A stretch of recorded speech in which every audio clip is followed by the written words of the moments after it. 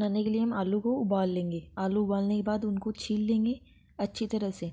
फिर सभी आलू को मैश कर लेंगे। मैश करने के बाद आप चाहे तो उसमें कलर ऐड कर सकते हैं। जिससे टिक्कियाँ आपकी खिली खिली दिखेंगी। आप इसमें डालें अदरक और हरी मिर्च का पेस्ट। अब आप इसमें लाल मिर्च और टेस्ट के अकॉर्डिंग नमक डाल देंगे।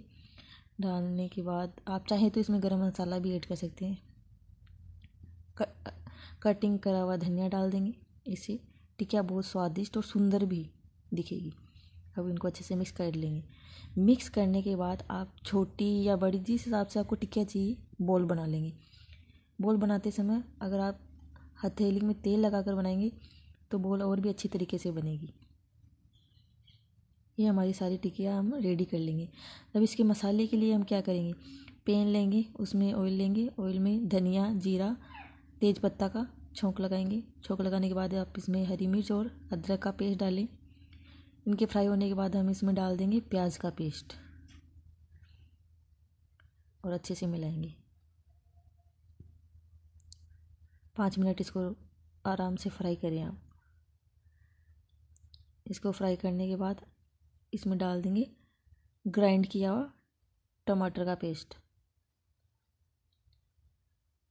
अब अच्छे से मिला देंगे। मिलाने के बाद इसको अच्छे से फ्राई कर लेंगे।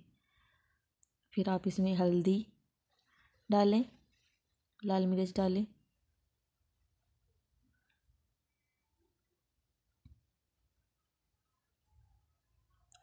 मिला दीजिए।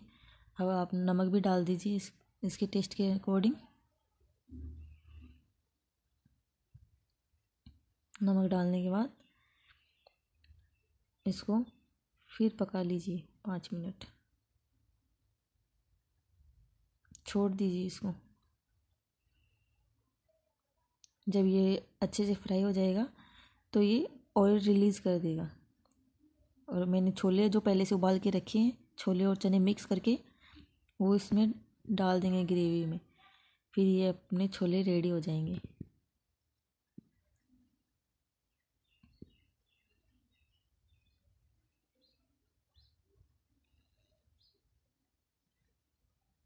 अब टिकिया को फ्राई करेंगे। इसके लिए पैन लेंगे। पैन पे आप चाहे तो ऑयल डाल सकते हैं। घी बटर जो भी आप चाहें। फिर इन पर जो बॉल बनाई है वो रखेंगे। इनको फ्राई करेंगे। अच्छे से फ्राई करेंगे और दोनों साइड से फ्राई करेंगे। आप चाहें तो एक साथ सारी फ्राई करके रख सकते हैं। या आप जैसे जैसे खाएँ गर्मा गर्म वैसे फ्राई कर लें।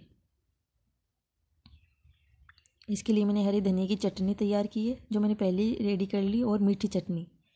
इमली की मीठी चटनी। अब आप सर्व करिए खुद भी खाइए बहुत ही टेस्टी टिकिया बनी है।